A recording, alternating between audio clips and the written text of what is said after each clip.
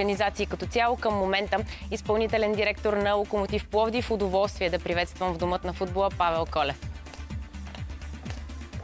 Добър вечер, господин Колев. Добър вечер, благодаря за поканата. Благодаря, че се отзовахте на нея. Заповядайте. Как сте първо? Добре, много добре. Малко изморен, но а, всичко е наред. Готвим се за матч. Готвите се за матч всяка седмица. Да. да ако ми позволите, ще ви разходя по а, доста теми в а, следващите минути, но все пак а, нека да започнем с настоящата Позволява. позиция в а, Локомотив Пловдив. През доста обрати премина последната седмица за вас. А, какво породи намеренията ви да си тръгнете от Локомотив и всъщност какво доведе до решението ви да останете в а, клуба? А, Това е една много дълга тема, която предполагам, ако засегнем в детайли, сигурно ще свърши предаването. Накратко можем да кажем, че имах конкретни очаквания за това каква работа ще върши в Локомотив Пловдив, след което имахме известни разминавания, основно по това как да се развива клуба в стратегически план в следващите няколко години. И разбира се, вечният проблем с процеса по взимане на решения и кой ще носи отговорност за тези решения. Най-общо казано, този проблем, между другото, съществува не само в Локомотив Пловдив, то е факт в целия български футбол и е свързан с начина по който са устроени футболните клубове като акционерни дружества, защото ако приемем, че акционерното дружество е най-популярната форма, търговска форма на юридическото лице, тази правно-организационна структура по принцип изобщо е създадена в правния мир, основно поради предимствата, които дава да обединява хора и капитали за постигането на някакви конкретни цели. А, но другото много важно нещо е, че по много рационален начин разделя собствеността от управлението, което се поверява на професионално подготвени кадри. Тоест този капитал а, би трябвало да се управлява от хора, които а, имат образованието да го правят. А, и когато това не се случва и решенията не се взимат от тези, които на теория са назначени за това, обикновено отговорността се размива. Първо. Второ, се стига до парадокса- парадоксалната ситуация хората, които взимат решения, са също така и собственици и след това трябва да се събудят с едно чувство за вина сутрин, гледайки се в огледалото, че са сбъркали и че са загубили пари. Обаче няма от кого да търсят отговорност. Опира пешкира треньора, изпълнителният директор, спортния директор и така нататък. Само, че те, за съжаление, в повече случаи нямат много голямо влияние върху решенията. Говоря за стратегически решения. Много често даже не ги и питат, което е доста тъжно. Не казвам, че това е случая в Локомотив Пловдив, в никакъв случай не ме разбирате погрешно. Тук говоря по принцип. Ние имахме разминавания за това как трябва да се прави селекционната политика, как трябва да се м- организира процеса на решения, а, който поне според мен трябва да е концентриран в клуба, а, така че ако нещо се обърка и нещата не вървят, да има конкретни хора, които да носят отговорност. На първо място аз естествено, след което и старши треньори, и спортния директор и така нататък надолу по веригата. И това трябваше да изчистим. В крайна сметка, мисля, че сега в момента има някакво разбирателство по това въпрос и, и вървим а, напред в синхрон, надявам се. До този момент нямам основания да смятам а, нещо друго. Ще трябва време да поизчистим малко структурата, но аз се радвам изключително много, че в лицето на Илко Пиргов имам човек. Аз настоявах от самото си идване в Локомотив Пловдив да имам на разположение спортен директор. По простата причина, че винаги съм вярвал, че идеалната структура, поне в европейския модел на клубния футбол, е под формата на триъгълник.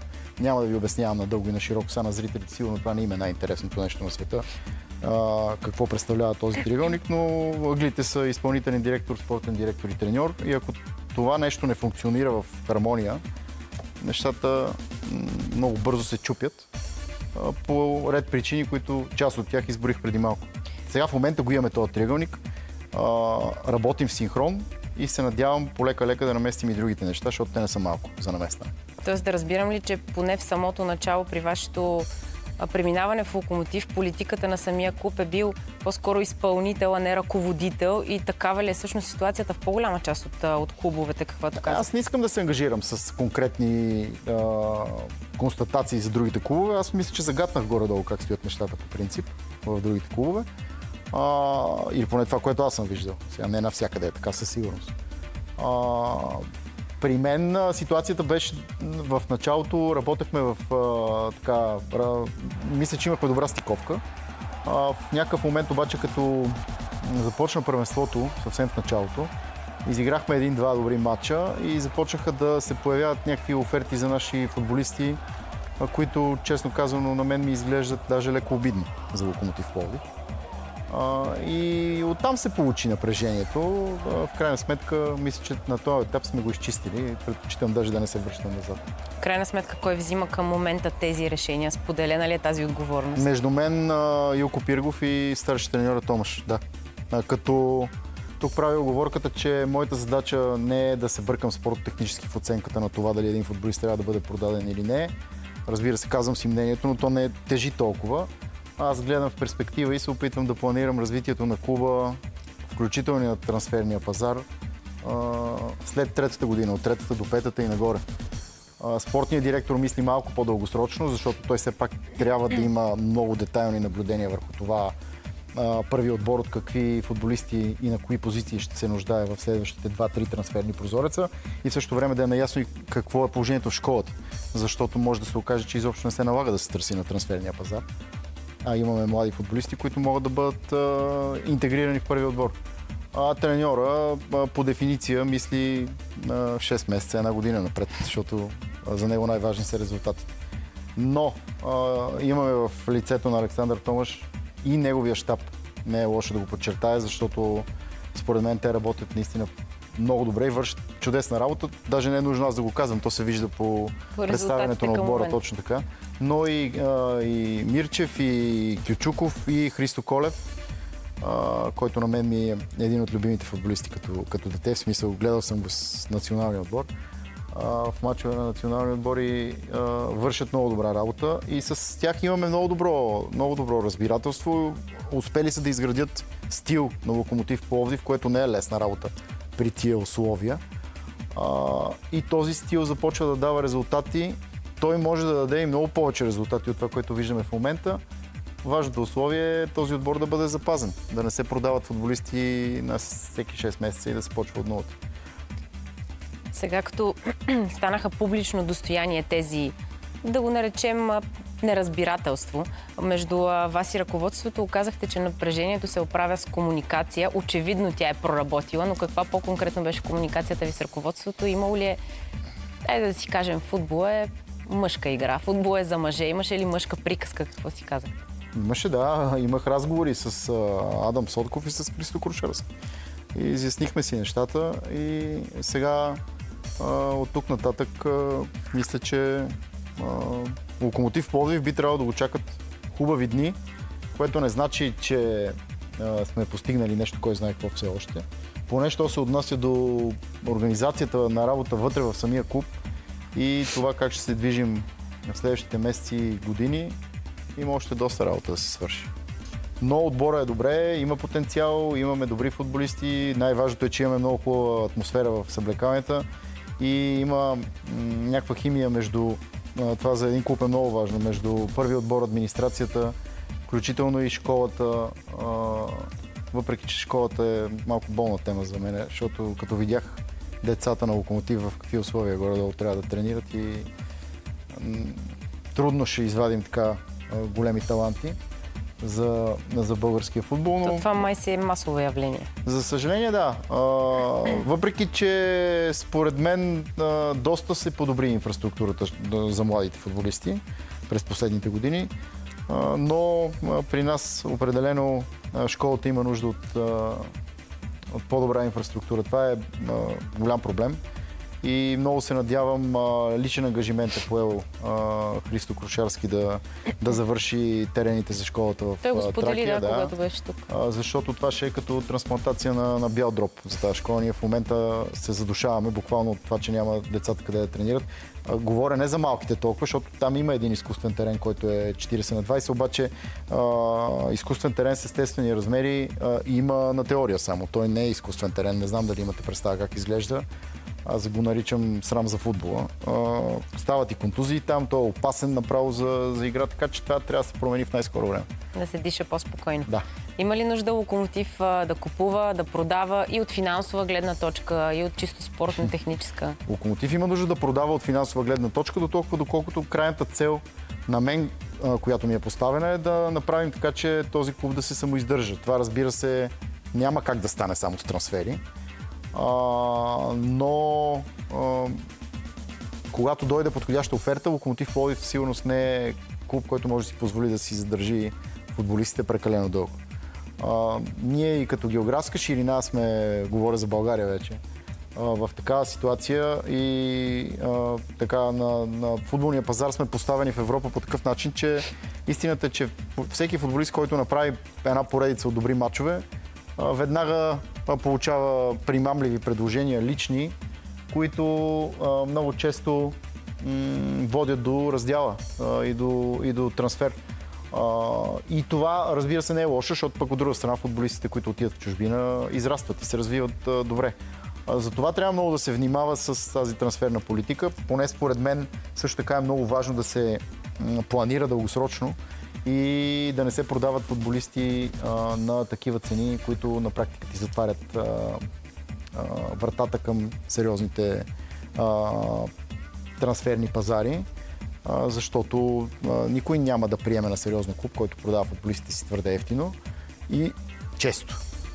Затова е добре един отбор да се окомплектова, да се попълни в един определен състав и треньора да бъде оставен на спокойствие да работи с него на поне една година.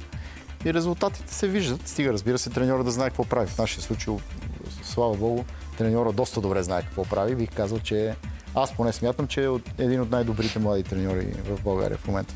Като говорим за резултати, виждаме подемата на отбора. Първо място в класирането, колкото и малко време да е изминало от началото на шампионата, но пък добри игри, добри резултати. Така, щом настоящето е, е толкова обещаващо, бъдещето може би повдига нови апетити. Колко големи са те и всъщност в какво се изразяват целите? Ами ние ще се опитаме да станем шампиони със сигурност. а, може да звучи смешно, обаче... Те вече станаха много кандидати, което е хубаво за Да, да, българския да, футбол. само че след първите четири кръга взеха да отпадат един по един. Това разбира се в рамките на шегата. Истината е, че първенството почва те първо. Много е рано да се правят генерални оценки. Аз първо смятам, и не съм само аз, ние в клуба, всички сме на това мнение, не сме направили нищо, кой знае какво. Важни, а, важни победи записахме, особено тази последната беше изключително важна, защото а, аз го казах и веднага след матча, според мен играхме срещу другия отбор в а, България, който в момента към днешна дата има изграден стил или поне се опитва да го изгражда и се вижда, вижда се работата на треньор. До някъде ситуацията е подобна и в Черно море, макар и с по-скромни възможности от Левски. Мисля, че те са горе-долу като нас, от, от една черга сме. И там Илян Илиев обаче работи дългосрочно и там се виждат резултатите. В смисъл Черно море, според мен, играе а, наистина добър футбол. А, малко по-различен е стила, докато Левски и ние се опитваме да правим горе-долу едно и също нещо. А, няма да влизам сега в спорт-технически детайлите, защото а, не, не ми е работа. Но а, в този сблъсък между всепомитащо гюле и непоклатим стълб, който се получи в а, неделя, ние успяхме да наделееме, което е радващо. А, Левски играха добре, даже бих казал по-добре от нас на моменти а, и показаха класа, включително и с новите попълнения, които сега, сега привлякоха. Имахме и късмет много, изпуснаха доста положения, разбира се и Локомотив Пловдив имаше положения, но в крайна сметка в тези матчове остава в историята резултат, така че за нас е, беше от психологическа гледна точка много важно да го спечелим този матч. Радвам се, че успяхме, всички сме щастливи. И сега естествено на дневен ред е матч с Пирин в Благоевград, който ако не бъде спечелен, все едно нищо не сме направили също Левски, така че както казваше един мой учител в футбола преди много години, в футбола то това е клише вече, но тогава звучеше като голяма мъдрост. В футбола няма вчера и днес, има само утре, така че важен е следващия матч. Винаги следващия матч е най-важен. След напускането ви от Левски, към което ще ви върна след малко, така бяхте едно известно време малко по-встрани от българския футбол. Вярвам, сте следили всичко, което се случва с него, но променил ли се той към днешна дата и какво смятате за, за нивото и изобщо за конкуренцията, тъй като може би това е нещо, което ще ни дърпа напред.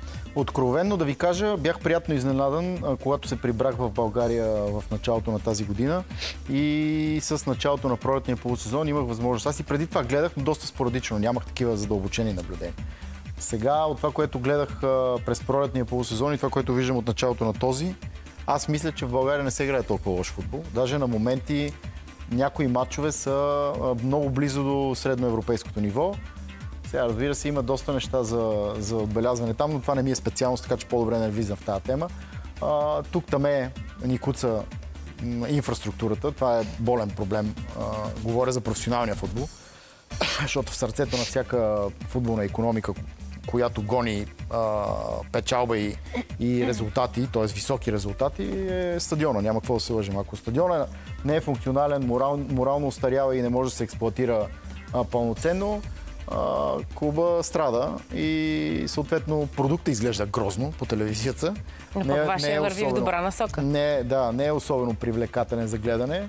Ами ние сме още строителна площадка в момента, но слава богу имаме вече две завършени трибуни. Това е добра новина. Третата е на път да, да стане готова и остава само централната трибуна да се направи. Но а, да се върна на темата за това какъв футбол си играе. Според мен си играе приличен а, футбол на близо до средноевропейското ниво в някои мачове. Имаме 4-5 отбора, които наистина се опитват да играят бързо. Има преса, контрапреса, въобще някакви тактически надигравания, които преди 3-4 години не се случваха често, не се виждаха често. Сега нещата изглеждат доста добре от тази гледна точка. Очевидно и отборите са добре подготвени физически. Така че не съм чак от такъв песимист. Аз, на мен ми харесва футбол в България. Не е лесно да си играе тук, никак даже. А, и това и с футболисти съм си го говорил, които идват тук с очакванията, че след кота ще вкарат 20 гола. Ми не е точно така. В смисъл, отборите са да, доста добре подготвени. Сега вече по-конкретно към Левски. Не, че не беше тема и до сега индиректно, но вече по-директно.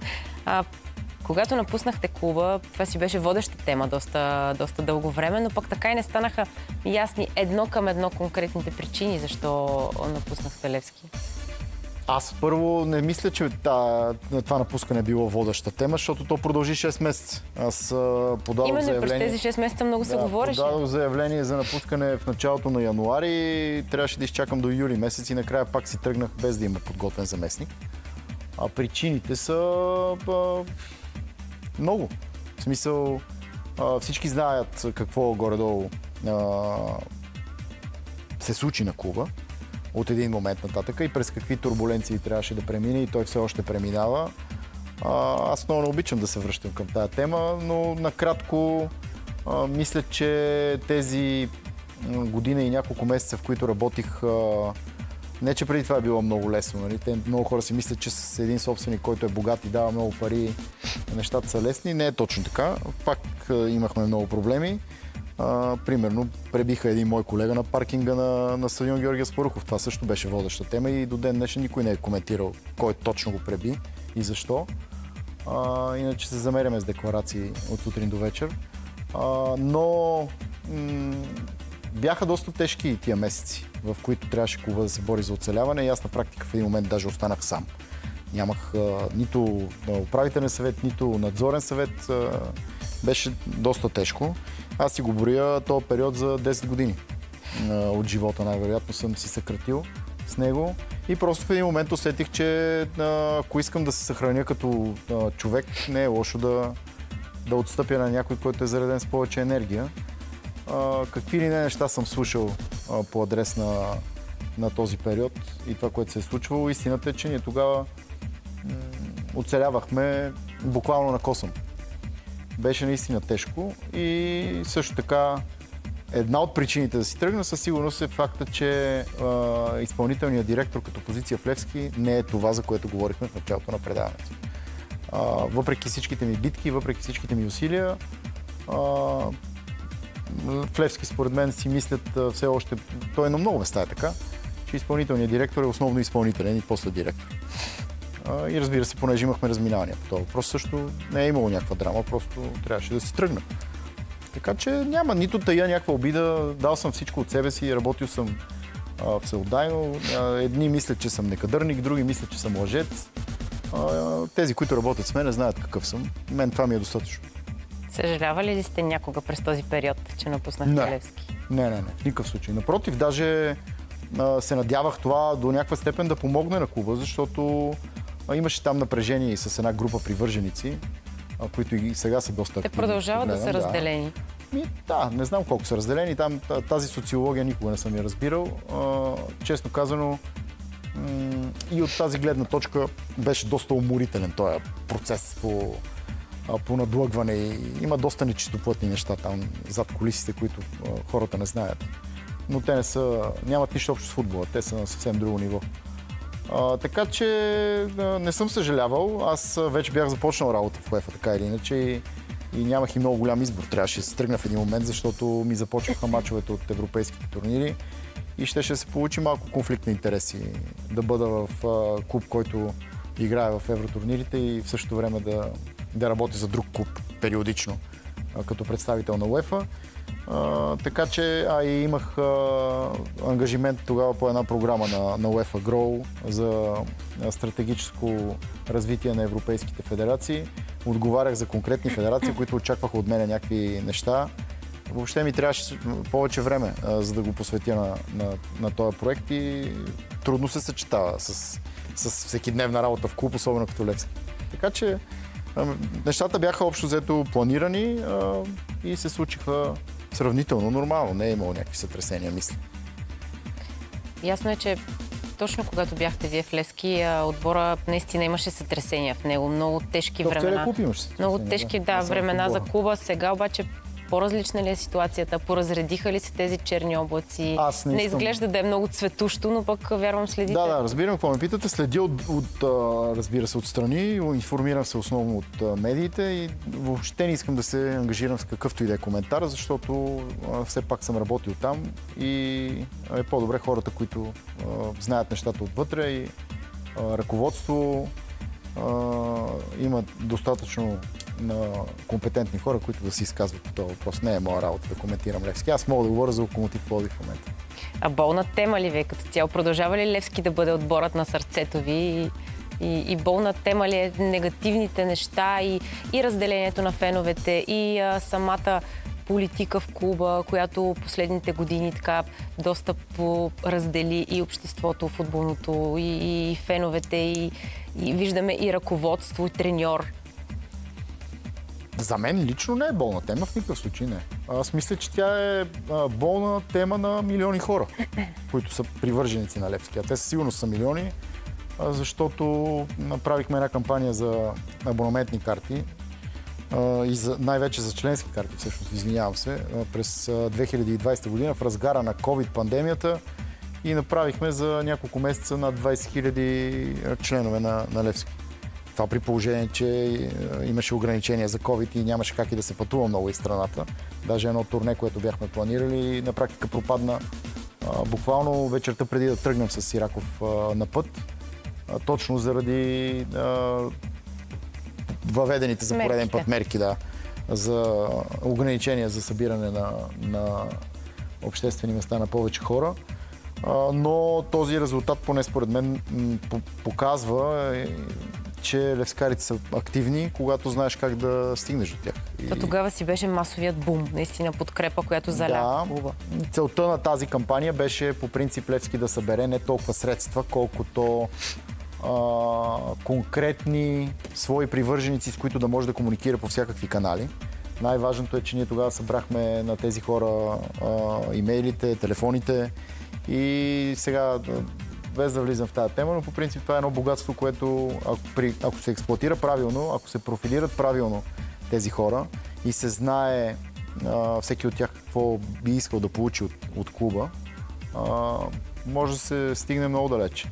А, това мисля, че не беше продължено, за съжаление, след мен. Нямам представа защо не съм се интересувал, но а, за мен това е бъдещето. На клубовете с голяма фенска маса, те трябва да знаят а, техните фенове кои са, къде са, какво образование имат, къде живеят, в кой квартал, какво работят, горе-долу какъв им е дохода, от какъв пол са и така нататък, за да могат да направят профили и съответно да, да стигат до тях с подходяща комуникация по подходящите канали, защото едно е да, ком, да комуникираш с 65 годишен привърженик на Левски, който помни Гунди. Съвсем друго е да ком, комуникираш с едно дете на 12 години, което основно познава Левски от uh, FIFA PlayStation. Uh, и ако съобщението ти не е моделирано така, че да, да стигне до, до този таргет, просто се удриш в една стена. Ние губиме цели поколения точно по тази причина. Бяхме тръгнали по този път, аз не можах да го довърша, защото и много нерви ми коства цялото това нещо.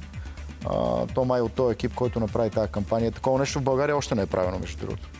Над 20 000 членски карти, не знам някой дали има и дали ще има скоро. Ето едва ли има и отбор, който може да, да, да отговори на този призив. Е така, а, но толкова на тази тема. В смисъл, това е минало вече и остава за поколенията да го анализират. За да завършим позитивно, какво всъщност пожелавате на българския футбол и какво си пожелавате да видите от българския футбол в най-кратко бъдеще, най-близко бъдеще? Да, що ме кратко, пожелавам успех на два, двата ни оцелели участника в европейските клубни турнири. Стискам палци на Левски утре и на Лудогорец в битката им в Лига Европа.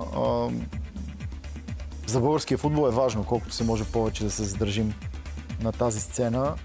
Аз като човек, който работи в груповата фаза на европейските клубни турнири, като венио директор, си мисля, че няма нищо по-хубаво от това да имаме поне един отбор там, в тази групова фаза.